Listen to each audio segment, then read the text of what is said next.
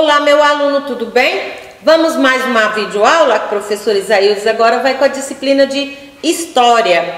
História, nós vamos revisar impostos. Nós já vimos isso, não já?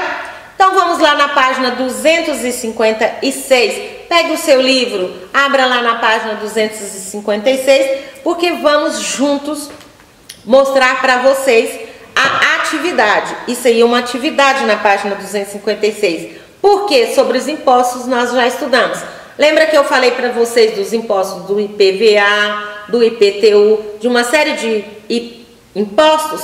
Todo, lembra que eu falei que tudo que nós compramos, tudo que nós vendemos tem impostos, certo? Então, já foi falado. Então vamos lá. Para saber mais sobre os impostos pagos na atualidade, converse com uma pessoa de sua família Pode ser um de seus pais, avós ou algum parente. Siga o roteiro abaixo, anote as informações no caderno.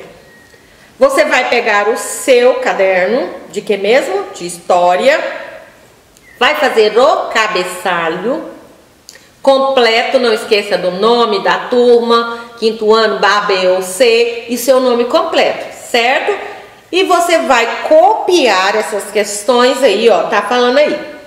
Primeiro passo, anote a data da entrevista. Claro, se você fez o cabeçalho, lá no seu cabeçalho tem a data. Não se esqueça de anotar também o nome e a idade do entrevistado. Depois que você fez o cabeçalho, você vai colocar que você entrevistou a vovó Carunchinha. Então você vai colocar lá, vovó Carunchinha. Colocou o dia, a data, o nome dela, certo? Que vai ser entrevistada. Faça para eles a pergunta. Aí você vai fazer o quê? Você vai copiar a sua questão de letra A, vai copiar a questão, em seguida você vai perguntar para a pessoa que está sendo entrevistada e vai escrever a resposta. A, você paga algum tipo de impostos atualmente? A pessoa vai responder sim, todo mundo paga, né? E cite alguns exemplos. Por exemplo, se ela tem carro, ela paga IPVA. Se ela mora numa casa, ela paga IPTU. E assim sucessivamente. Se ela tem uma empresa, ela paga o imposto. Qual é o tipo de imposto que ela paga? Entenderam? Em sua opinião, o valor desse imposto é justo? Você vai perguntar para a pessoa e ela vai responder: é justo ela pagar por esses impostos? Sim ou não e por quê? Só sim, não. Tem que ter por quê? C. Você acha que o dinheiro arrecadado pelo governo com os impostos é bem investido?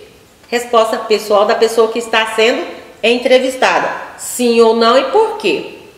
D. Qual a importância da transparência na administração dos recursos públicos? Por que, que você acha que os nossos serviços públicos precisam ter uma, uma transparência, né? mostrando ali os gastos, com o que, que foi gasto o dinheiro da população que que pagou como imposto. E você considera importante que a população fiscalize o uso do dinheiro arrecadado pelo governo? Você acha que nós devemos fiscalizar? Por quê? Na sua cidade, quais setores você acha que deve ser priorizado pelo governo na, na aplicação do dinheiro dos impostos e por quê? Na educação? Na saúde? Na segurança? Nos empregos? Em que, que você acha que a pessoa, não é você. Por fim, em conjunto com sua turma, nós nos vamos reunir. Então, depois que você realizou essa atividade, essa entrevista, você assina sua entrevista, tá? E você vai fazer isso no seu caderno. Você deverá enviar as fotos das atividades pelo WhatsApp e o envio das atividades serão identificadas como frequência do aluno, tá? Quero lembrar vocês que, dando uma olhada né, nas, nas atividades, existem quatro alunos aí que não enviou nenhuma atividade. Vamos verificar isso aí. Se não tem atividade, não tem nota e não tem presença, tá? Toma muito cuidado. Um grande beijo e até a próxima aula.